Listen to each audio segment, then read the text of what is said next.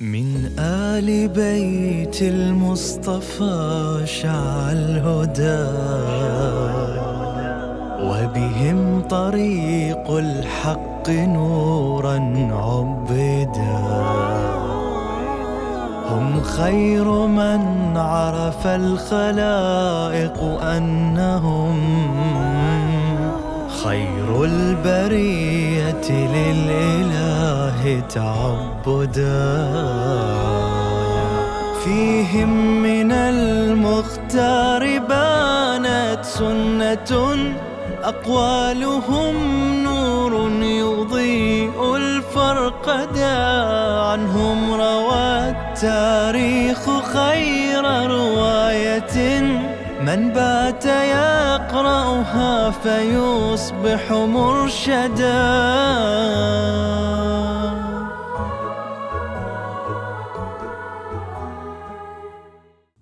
بسم الله الرحمن الرحيم.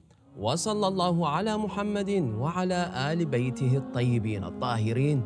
السلام عليكم ورحمة الله وبركاته.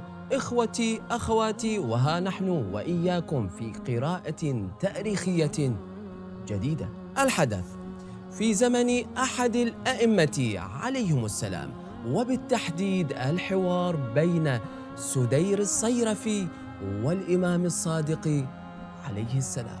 إذ يظهر الإمام أن الاعتماد ليس على الكم والعدد بل على النوع في تحقيق النصر الإلهي للأئمة عليهم السلام. فلنشاهد ونعود بالحكمة.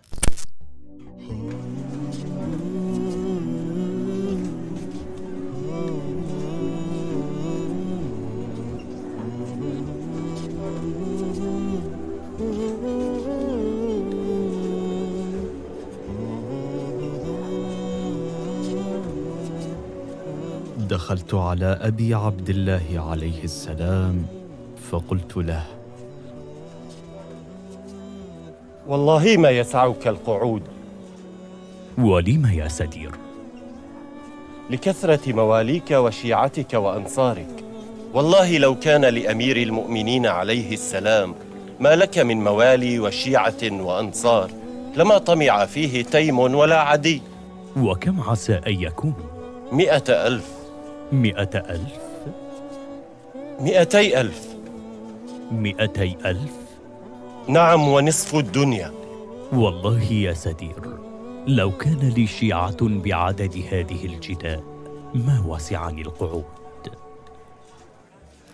إذا بعدما شاهدناه إخوتي وأخواتي ها نحن نقف على جملة من الأمور منها.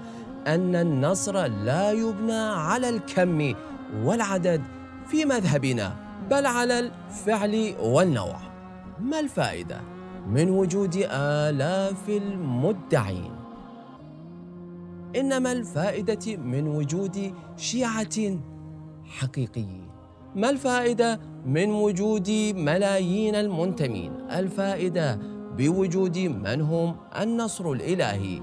فالملايين لن تفعل كالثلاثمائة وثلاثة عشر الخلص وقواعدهم. الذين لو كانوا في زمن أي إمام لثار طالبا للحق بالأمر الإلهي. نستودعكم الله.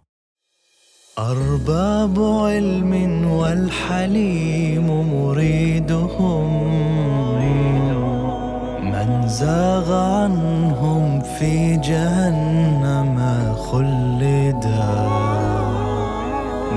ما إن تمسكتم بهم فلتعلموا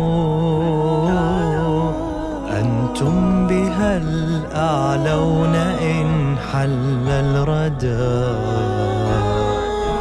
هم خير آيات وخير تلاوة.